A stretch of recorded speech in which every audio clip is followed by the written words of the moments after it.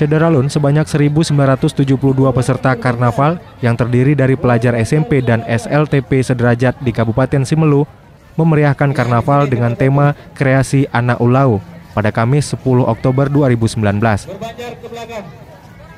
Ya, menghadap Maria.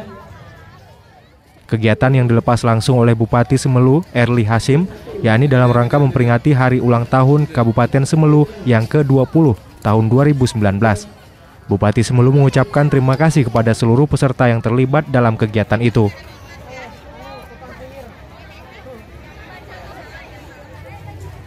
Untuk diketahui bahwa Kabupaten Semelu berpisah dengan Kabupaten Induk Aceh Barat pada tahun 1999.